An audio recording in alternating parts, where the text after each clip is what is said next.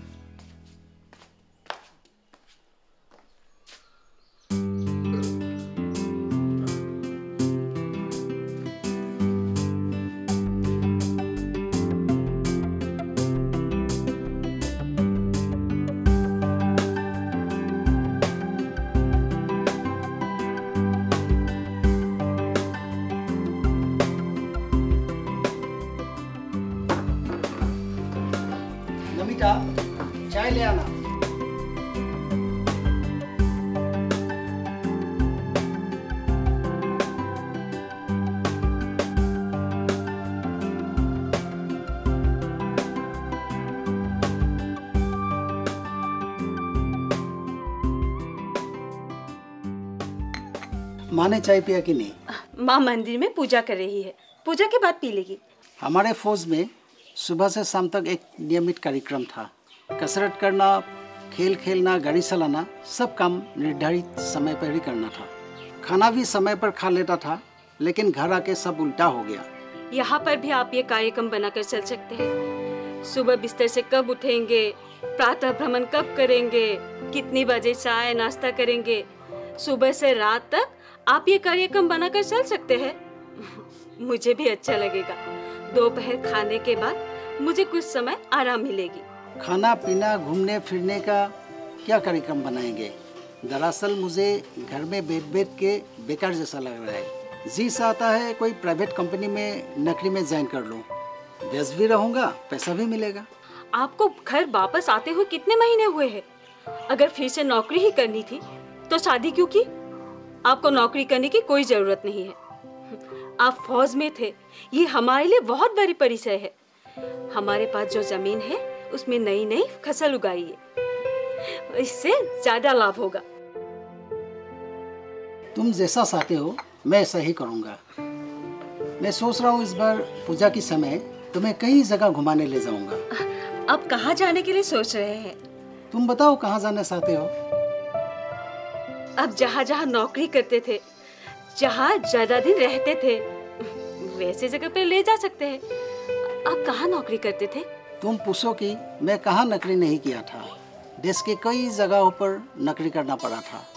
इस बार मैं तुम्हें दिल्ली हरियाणा और कश्मीर घुमा लाऊँगा। माँ को भी हमारे साथ ले जाएँगे। ठीक है तुम्हारा जैसा मर्ज़ी।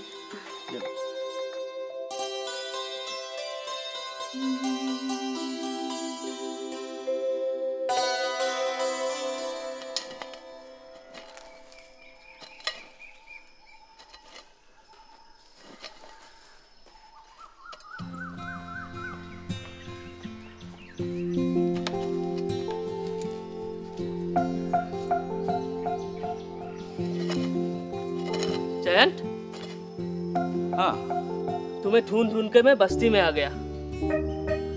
आज बाज़ार नहीं गए क्या? गया था। बाज़ार जाके मेरा मन बहुत खराब हो गया। क्यों? बाज़ार में एक गोभी में साठ रुपया हो गया है। हमारा बहुत नुकसान होगा। तो भी इस साल गोभी के खेती में हमारा ज़रूर लाभ होगा। गोभी का दाम अब तक नहीं बढ़ा है तो लाभ कैसे होगा? गोभी का दाम इस साल और भी कम हो गया है। फिर भी लाभ होगा। प्रति किलो की दाम कम होने से लाभ कैसे होगा? फिर भी पिछले साल से इस साल हम लोगों का लाभ होगा ये कैसे? पिछले साल हम लोगों ने एक बीघा ज़मीन में तीन हज़ार गोभी रोपे थे। पाँच रुपए प्रति किलो के हिसाब से पंद्रह हज़ार रुपये मिला था। इस साल उसी खर्चे में हम लोगों ने छह हज़ार गोभी एक बीघा ज़मीन में लगाया है। पाँच रुपए किलो के हिसाब से तीस हज़ार रुपये मिलेगा। सच? ये तो बहुत अच्छी खुशखबरी है। खेती करने में भी बहुत दिमाग लगाना पड़ता है। आजकल खेत में दिमाग ना लगाने से खेत के उत्पादन कम हो जाते हैं। खेत के उत्पादन कम होने से किसान की आर्थिक अवस्था दयनीय हो जाते हैं जिससे किसान कर्ज लौटाने में असमर्थ हो जाते हैं और कोई किसान बेबस होकर आत्महत्या कर चुकी है। हम्म, कृषि सामग्री के उचित दाम नहीं मिलने से देश के बहुत से किसान दरिद्र बन चुके हैं। किसानों की अवस्था देख के हमें बहुत दुख होता है। सारा दिन काम करने की बात अपना लागत नहीं मिलता तो अपनी घर संसार कैसे चलाएँगे? इसका कारण है सब्ज़ी बाज़ार में पाइकार का उचित दाम नहीं देना। पाइकार देखता है अगर सब्ज़ी बाज़ार में सब्ज़ी ज़्यादा आया है तो वो दाम कम कर देता है। इससे किसानों के हालत ऐसे हो जाते हैं कि ना वो वहाँ सब्ज़ी बेच पाते हैं और ना अपने घर वापस ले जा सकते हैं। वापस ले जाकर क्या करेंगे? सब्ज़ियाँ खराब हो जाएँगे सड़ जाएँगे। अगर हम सब मिलके एक कोल्ड स्टोरेज बनाते हैं तो सारे सब्ज़ियाँ वहाँ रखकर पूरे साल बिक्री कर सकते हैं। इसे बनाने में सरकार की तरफ़ से सब्सिडी भी मिलती है। मैंने बैंक में लोन के लिए दरखास्त भी की है। अगर हमारे किसी क्षेत्रों में कोल्ड स्टोरेज बनेंगे तो किसानों की दुर्दशा कम हो जाएगी। हाँ। अब जाओ तुम लोग अपने काम में लग जाओ। मैं सारे सब्ज़ियाँ ट्रैक्टर में लाद के बाज़ार ले जाऊँगा। ठीक है ठीक है जाओ।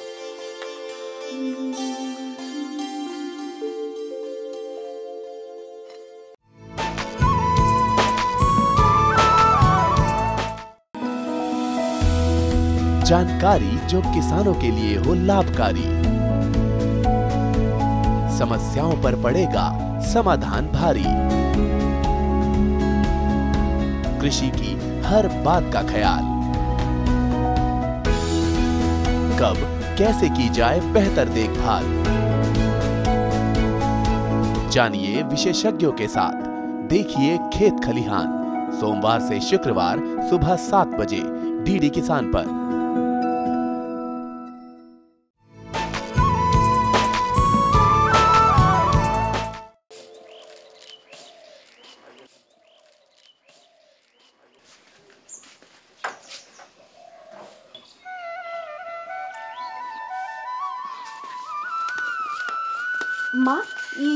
कर रहे हैं। दीजिए मैं कर लेती हूँ। अरे ये सब कर कर के ही मेरी इतनी उम्र हुई है। तुम्हारे रहने से भी मैं ये कर सकती हूँ। माँ आपसे एक बात कहनी थी। क्या? वे कह रहे थे इस बार पूजा के समय हमें दिल्ली हरियाणा कश्मीर और कई जगहों पे घुमाने के लिए ले जाएँगे। इस उम्र में मैं तुम लोगों के साथ कैसे जा सकती हूँ? नहीं माँ आपको अकेले छोड़कर हम नहीं जाएँगे। यहाँ आपका देखभाल कौन करेगा? आपको भी हमारे साथ चलना पड़ेगा। सास और बहू का बीच में क्या बात चल रहा है? माँ को मैंने हमारे साथ घूमने चलने के लिए कहा लेकिन माँ मना कर रही है। अगर माँ नहीं जाएँगे तो हम भी नहीं जाएँगे। अरे ऐसे मत कहो बेटा। तुम लोग तो जानते ही हो मैं दिन में कितनी दवाइयाँ खाती हूँ। माँ दिल्ली और हरियाणा में बहुत अच्छे अच्छे अस्पताल भी है। अगर आप चलेंगे तो हम वहाँ आपका हेल्थ चेकअप भी करवाएँगे। हाँ माँ। अब बस हाँ कर दो। अगर मेरे ना चलने से तुम लोग भी नहीं जाओगे तब तो मुझे चलना ही पड़ेगा। समय आने दो। अगर भगवान ने सही सलामत रखा तो मैं भी चल दूँगी। माँ आप कितनी अच्छी हो। माँ ठीक है। चलो। अभी कर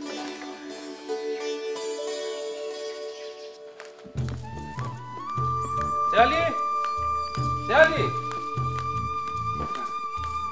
ये देखो। वाह इतना मछली हाँ। माँ कहाँ गई है? पिसी के घर गई है अभी आ जाएगा। ठीक है तुम खाना बनाओ मुझे बाज़ार जाना है सब्ज़ी बेचने के लिए। नहीं तो सब्ज़ी खेत में ही खराब हो जाएँगे। ठीक है तुम नहा धो कर आओ मैं खाना बनाती हूँ। ठीक है जल्दी बनाना ठीक है? हाँ।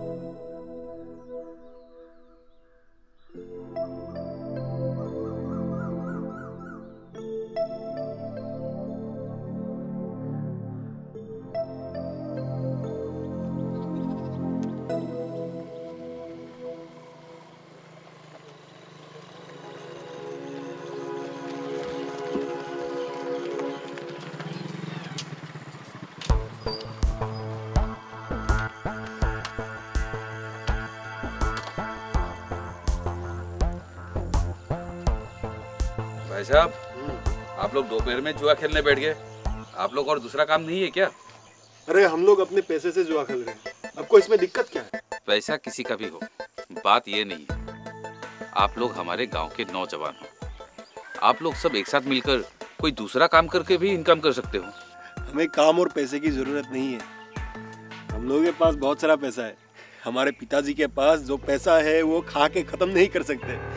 इसलिए हम लोग मौज मस्ती के लिए खेल रहे हैं। हमारे गाँव में कई दुखी और गरीब लोग भी हैं। उससे आप लोग आर्थिक मदद तो कर सकते हो। आपका इतना जी चाहता है तो स्वयं एक धर्मशाला खोल कर लोगों की सेवा कीजिए। इससे आप लोगों को काफ़ी सारा मुनाफा भी होगा और जो लोग खेतों में काम कर रहे हैं मजदूर उनको भी काम मिल जाएगा। मैं जवान और बेकार लोगों के बारे में नहीं कह रहा हूँ। अगर काम करना चाहो तो कोई भी काम छोटा नहीं होता। लेकिन गाँव के जो बेसहारा और लाचार लोग हैं उन लोगों के लिए मैं एक योजना बनाना चाहता हूँ। अगर आप लोग हमारी मदद करेंगे तो मैं जल्द ही इस योजना में काम शुरू करूँगा। आपको क्या करना है? कहाँ जाना है?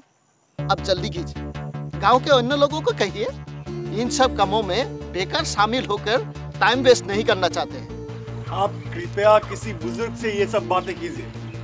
हम लोग बेकार आदमी हैं। खुद को संभाल नहीं पाते हैं, लोगों को क्या संभाल लेंगे अरे, पकड़ पकड़ पकड़।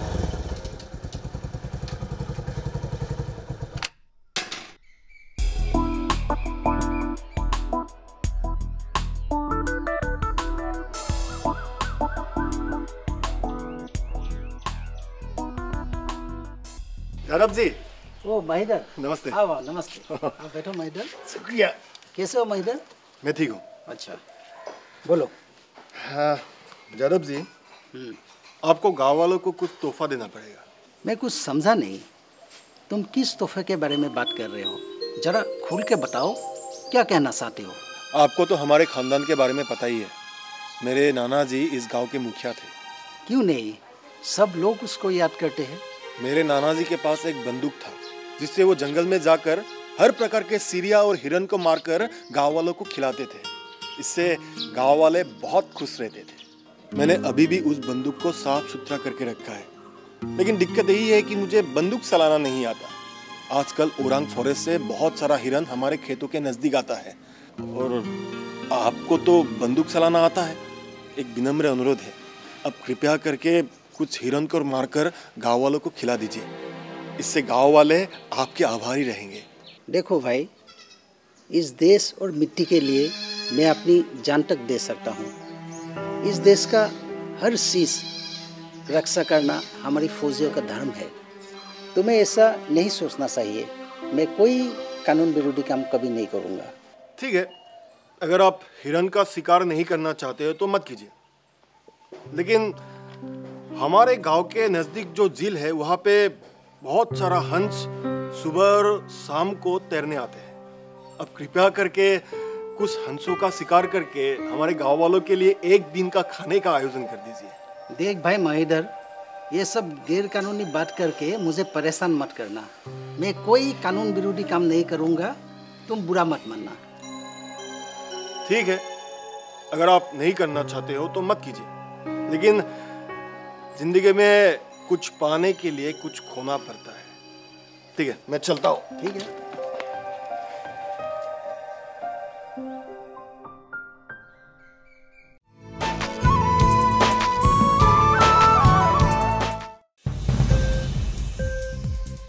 उपज के भाव ताव आवक का हालचाल। आयात निर्यात पर पैनी नज़र। जानकारों की सटीक सलाह। सिर्फ़ मंडी खबर में सोमवार से शनिवार सुबह आठ बजकर पाँच मिनट पर।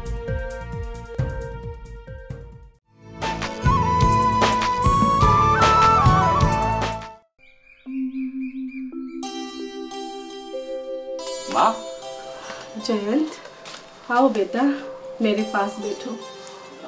मुझे तुमसे कुछ ज़रूरी बातें करनी है। कहिए ना माँ क्या बात है? मेरी शरीर दिन व दिन खराब होती जा रही है। ना जाने कितने दिन और इस दुनिया में रहूँगी। तुम और सेवाली के ऊपर मेरा दायित्व है। सेवाली भी शादी के लायक हो चुकी है। जल्द से जल्द उसकी शादी का बंदोबस्त कर दूँ। ये सब बातें आप ज़्यादा मत सोचिए। समय आने पर सब कुछ ठीक हो जाएगा। मेरे होते हुए आपको चिंता करने की कोई ज़रूरत नहीं। मेरी चिंता तो तेरे लिए है बेटा। तेरा काम और कारोबार बढ़ता जा रहा है। ना जाने कितने सारे लोग लगे रहते हैं काम पे। समय पर कौन तुझे खाना बना कर देगा? सेवाली के शादी होने के बाद कौन तेरा देखभाल करेगा? इसलिए मैं जल्द से जल्द तेरी शादी का बंदोबस्त करना चाहती हूँ। नहीं माँ, अभी तो मुझे बहुत सारी योजनाओं पर काम करना है। ये सब करके ही मैं अपने गाँव के बेकार लोगों को रोज़गार दे सकूँगा। उससे पहले मैं शादी नहीं करूँगा। नहीं तो मेरे ये सपने अधूरे रह जाएँगे। नहीं बेटा, शादी के बाद भी तुम इन योजना पर काम कर सकोगे। बहू भी तुम्हारी साथ देगी। तुम्हें मुझे आज एक वचन देना पड़ेगा कि तुम जल्दी से शादी करोगे।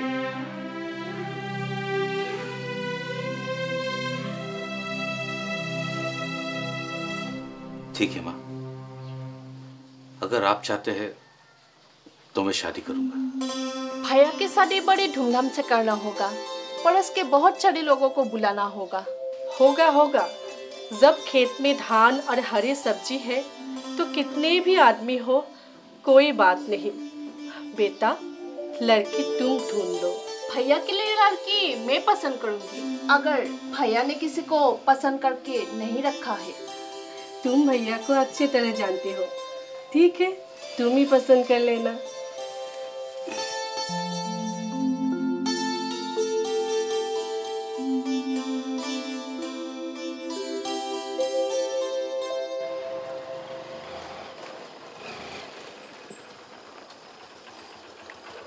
रुको। जल्दी जल्दी कहाँ जा रही हो? बाइक पर हो तो घर पहुँचा देते हैं तुम्हें। कोई दरकार नहीं। हम रोज पैदल से आते हैं और पैदल से जाते अरे तुम लोग गवार जो गवार ही रहोगे। अरे मॉडर्न बनने की कोशिश नहीं करोगे। सर में देखो कोई भी लड़की पैदल नहीं जाती। चलो तो। शायद तुम ज़्यादा दारू पीकर आए हो। है? मुझे अपमान करने का साहस तुम्हें कहाँ से मिला? बाइक पर बैठने को बोला गया था ना? बाइक पर बैठो नहीं तो ज़ोर ज़बरदस्ती तुझे उठा ले जाऊँगा। क्या बोला? है? निकल जा यहाँ से। नहीं तो मेरे चिल्लाने से सारे गाँव वाले आकर तुमको पिटाई करेगा। अरे, तुम्हें चिल्लाने की ज़रूरत नहीं है, चला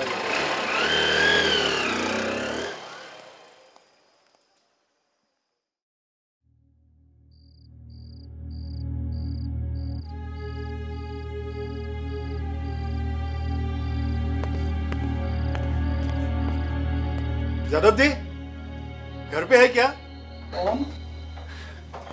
मैं महिधर ओ महिधर आओ अंदर आओ। चलिए।